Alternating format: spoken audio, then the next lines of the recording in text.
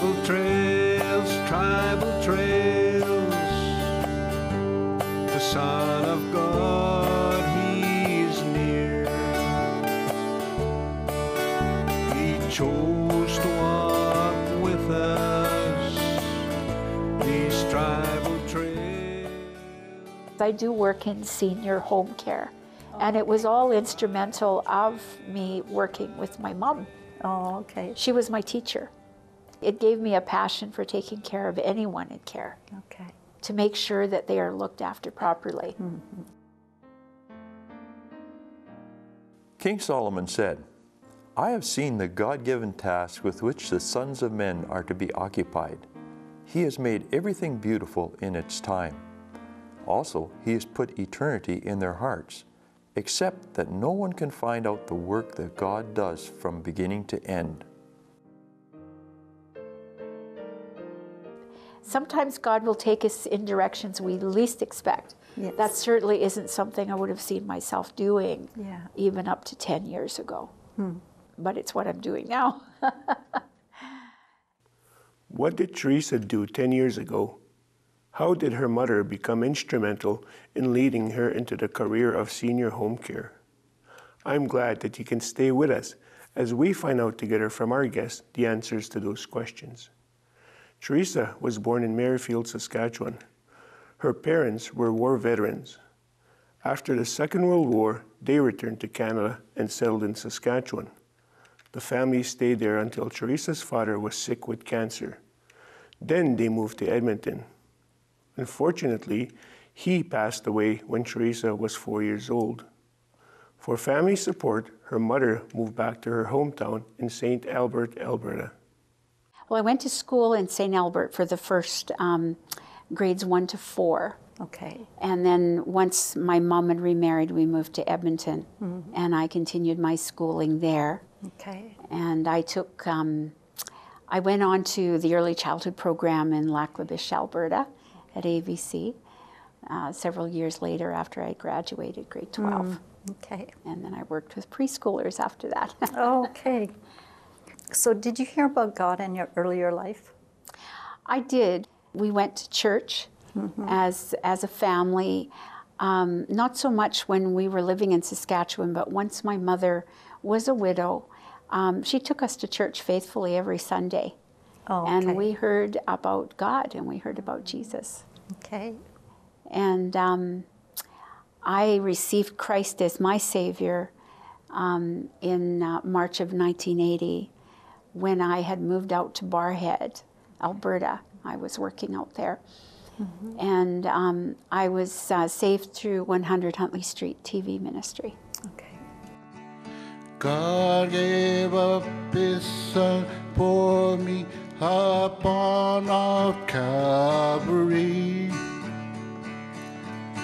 He said his precious blood to save my soul. And I never could repay the sacrifice he made. And with my life I pay the debt I owe. I'm willing, Lord, to go. I'm willing, Lord, to stay.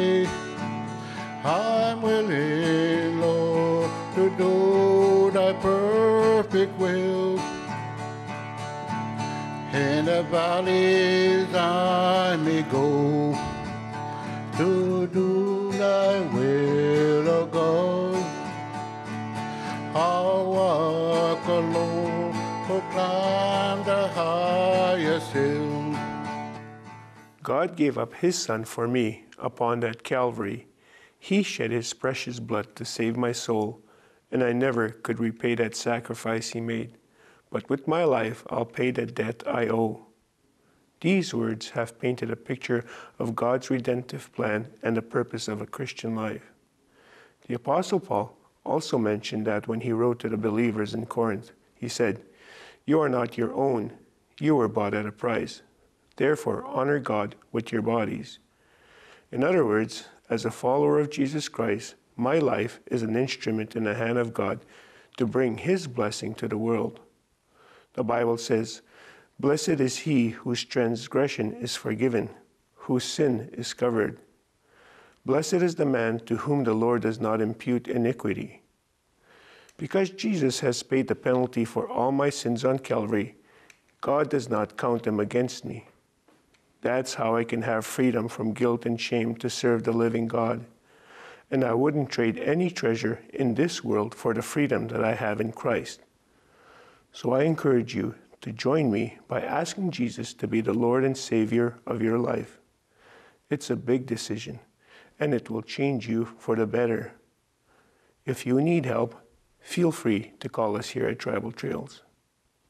And then how did God lead in your life after that? because I was already working with children and he had given me such a joy in working with kids, mm-hmm.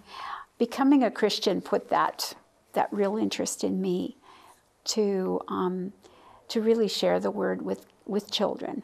But the Lord was showing me um, that He wanted me to be actively involved in church and to grow and to share the word with children. So I started out in an inner city mission when I came back to Edmonton. At Pentecost, Peter addressed the crowd. This is what was spoken by the prophet Joel. And it shall come to pass in the last days, says God, that I will pour out of my Spirit on all flesh. Your sons and your daughters shall prophesy, your young men shall see visions, your old men shall dream dreams. And on my men servants and on my maid servants I will pour out my Spirit in those days, and they shall prophesy. And there was um, an inner city bus ministry at that time at the big church that I was going to. The mission was an outreach of this big church um, that had 900 people in it. and so I was really seeing, I was praying and I was asking the Lord, Lord, what do I do? And when I slept, He gave me this incredible dream. And I was walking along this walkway, and it's like the, you know, the Lord was there to, to guide me. And the Lord was saying, Now come, and follow me. Yeah. I have something for you to do. And I, then I was, I was in this um, kitchen, and we were serving food Oh, to children at a table. And this was very natural for me because I was working with children in a daycare setting. And it was a Christian daycare that uh, I was working in at this point, and one of the staff that was in this dream, and she said, Come, let us feed the children. Hmm. And I said, And what are we having today? And she said, Fish and chips. Oh. and so I went to the table, and there was a little child there, and the child had hollow eyes. And he looked at me and he said, Feed me. Feed me. And I remember that scripture verse where Jesus met Peter on the shore. yeah. And he said, Peter, do you love me? Yeah. Then feed my sheep. Do you love me? Then feed my lambs. Yeah. And in this daycare where I was in, we called our little ones, the tiny ones, the lambs. Oh, okay. the older ones were the sheep. I mean, it was it was it was great, but it was such um, a powerful witness for me. It was very clear of what the Lord was leading me into. yeah. Um, I did work in bus ministry in the inner city, and He allowed me to be in there with one of my dearest of friends, who was also instrumental in me becoming a Christian. Oh, okay. We worked this bus ministry together and brought kids all the way from the inner city, all the way over to Millwoods in oh. Edmonton. And I did that for for a couple of years. So I have attended um, other churches since then. But in each church that God has taken me into, there is a strong Christian um, witness of the gospel and also of children's ministry. The greatest joy you can ever give a child is to know that they are loved by God. Um, they will make far better choices in life when they are led by the Holy Spirit early on. And I heard to say. Lift up your life today. It's time to reap the golden harvest field. There's work for you to do. My strength I gave to you. There are millions on earth that never heard my name. I'm willing, Lord, to go. I'm willing, Lord, to stay. I'm willing, Lord, to do thy perfect will. And the valleys I may go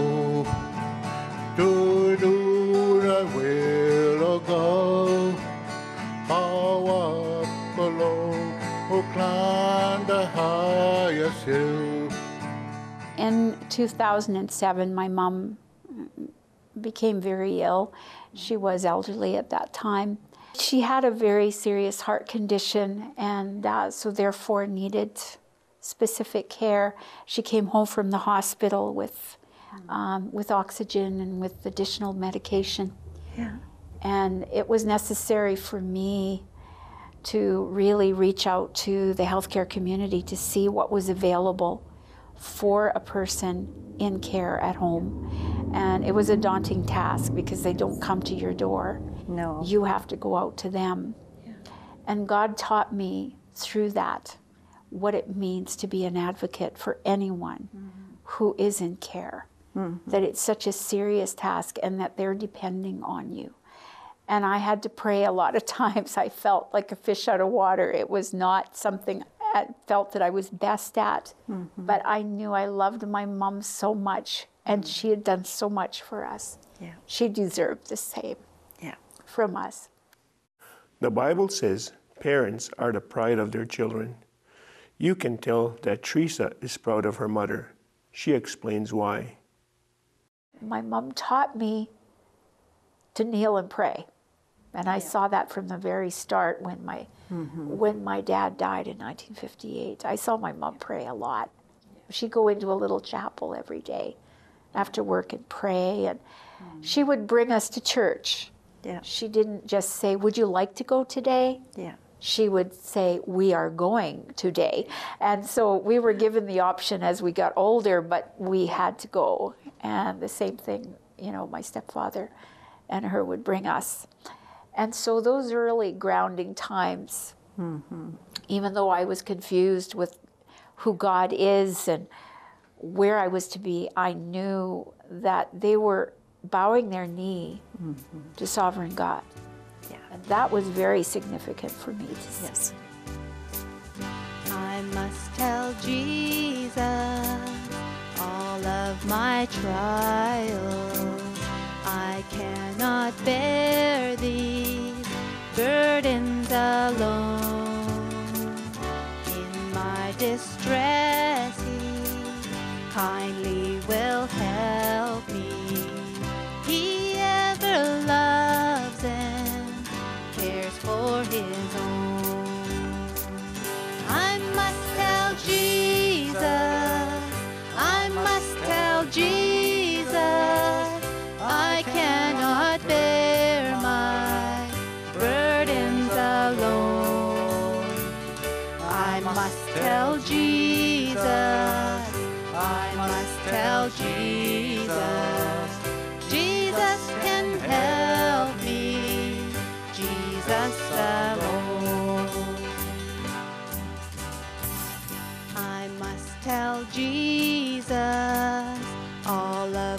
my troubles. He is a kind, compassionate friend. If I but ask Him, He will deliver. Make of my troubles quickly an end. So I must tell Jesus,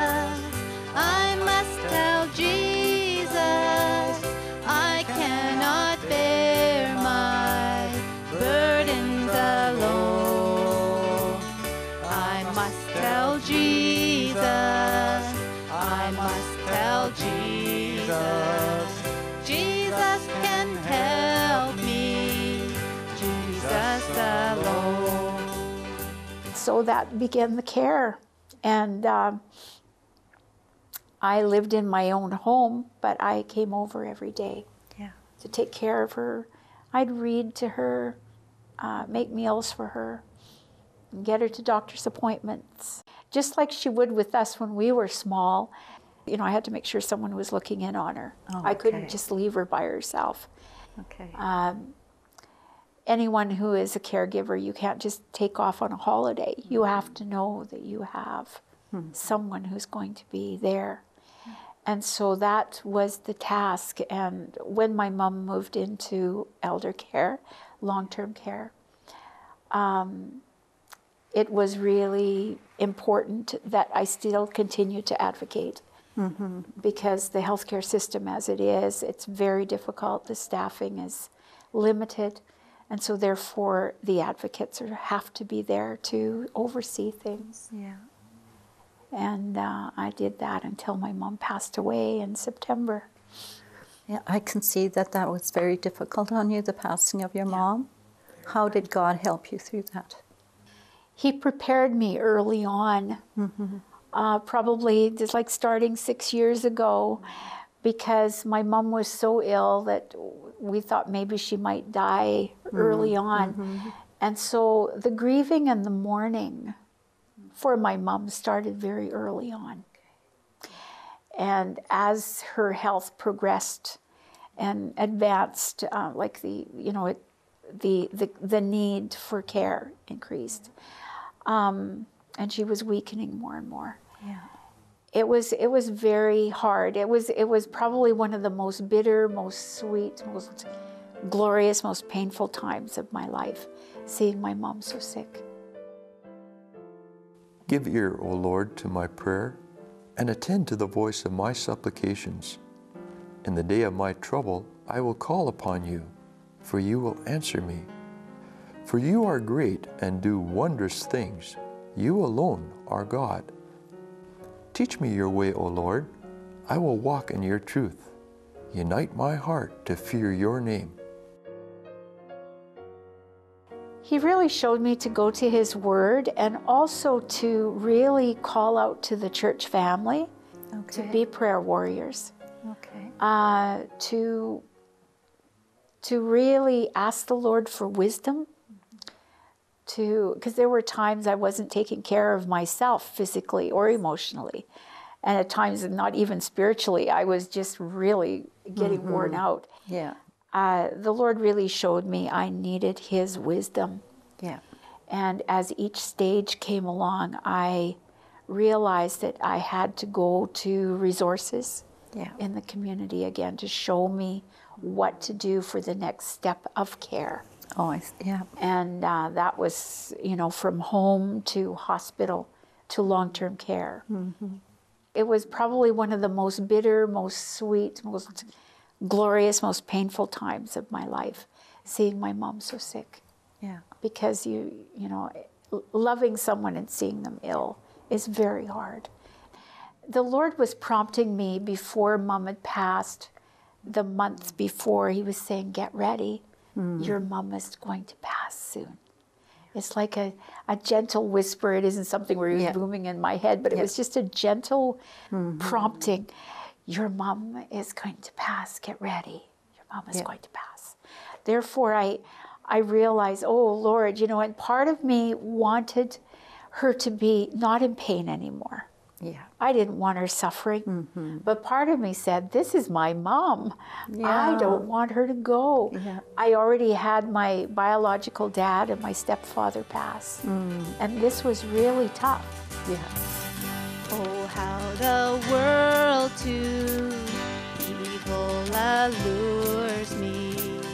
Oh, how my heart is tempted to sin. I must tell Jesus, and He will help me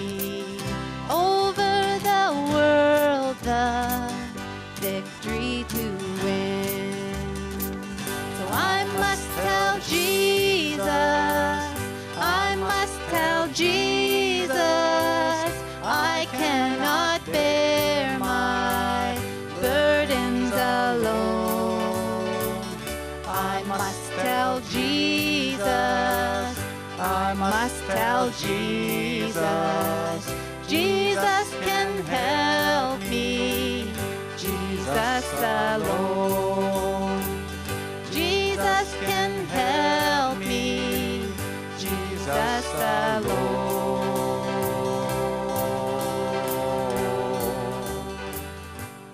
God was stirring in me to get my church family in to, pray Yeah, yeah. Uh, for my mom. And I was saying, Well, Lord, I pray that it will happen soon because I don't want her to pass before they come. And um, God's timing is never off, He's right on time. On the very night that my mom was to pass was the night that I had arranged for them to come. And I had done this about a week before where I had called them and said, Could you come on such and such a day? Throughout that day, I was so thankful that my mom was able to see all of her children Oh, and her grandchildren. And periodically throughout the day and some days before that, they were coming in. So mom was never really completely alone at any time. She was uh, surrounded by family at different moments. And in those last uh, few hour, hour and uh, like a, half hour, yeah. that my pastor and uh, there were a couple of church family members that come. We prayed around her bed, and I remember mm. saying, "I really hope God brings His best angels." And my pastor mm. said, ah, "Let's just pray one better that Jesus come Himself." and we prayed. We we read the Word. We sang to Jesus. And uh, I had walked them out and I was coming back. Mm-hmm. And when I came back, I was checking on mom mm-hmm. because I wanted to make sure she was okay. She, she by this time was fe- experiencing pain, so I wanted to make sure there was enough medication. Mm-hmm. And I realized she wasn't breathing. And part of me was devastated that I wasn't in the room at that very time. I just thought, oh, mom, I'm so sorry. But then I realized mm-hmm. Jesus came while I was out of the room. Yeah. So she had the best thing happen. Yeah. And I know she's with the Lord. Precious in the sight of the Lord is the death of his saints. I know with the passing of someone that you love, it's not always easy on the family. Can you share with us how the family came together under um, this, uh, I guess maybe you'd say crisis or the passing of your mom? um, the different personalities that God gave us uh, to be able to cope with different areas of care for mom, even from the start when she became very sick. And um, I saw where God was using me to be there, you know, as, as a caregiver. But there were other areas of um, how others are used sometimes in areas of the finances, um, areas of if they're living long distance, they come in and they, they give you breaks and they let you have the rest that you need, and they take that time with mom. Oh, yeah. Uh, people who will come and visit, you know, faithfully each week on a, a certain day, bring her to church. And I know my mom appreciated it Oh, yeah. um, in various ways because she loves her children so much and her grandchildren. And even following with the, um, you know, mom's passing, um, how our family came to visit her before she, she left us. And in preparing for the funeral, just pulling together, working together for the honor of our mom. And for me, just knowing that we want to honor God and honoring our mom. Jesus said, If anyone serves me, let him follow me, and where I am, there my servant will be also. If anyone serves me, him my Father will honor. I was so grateful for my siblings. They did a wonderful uh, help in uh, preparing the funeral. My mom was given a full honor guard of a military person Oh, with the last post bugle Yeah. and, and with with the bagpipes yeah. and the color party, standing at attention. And I thought, yes, that's for you, mom. Yeah. thank God for my mom. What an honor. Theresa's mother deserves such honor because she had devoted her life to serve the Lord by raising her children in His way and being a light in dark places. Theresa has more to say about her parents as we conclude this program. But before she returns, may I ask, how's your walk with the Lord? If you'd like to talk to someone about that, don't hesitate to call us here at Tribal Trails. They were caregivers for those who were ill and dying. And so it really set a strong example Yes. how that can be done and patterned by, by the family who are, are still here. So I'm very grateful for all these experiences. It helps to build our character and to build our faith and to help us to be more sensitive to others mm-hmm. in their trials. Mm-hmm. Everyone who knows the love of Jesus, and everyone who's seen what God can do, can tell a dying world of His forgiveness and share the hope that lives inside of you. For in the heart of every true believer burns the light of love's eternal flame. And if we simply lift that light toward heaven, it will drive the darkness out in Jesus' name. So let it shine, let it shine.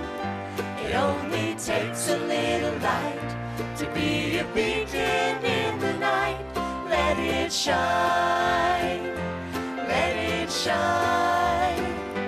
If they're ever gonna know, we've got to let it show, let it shine.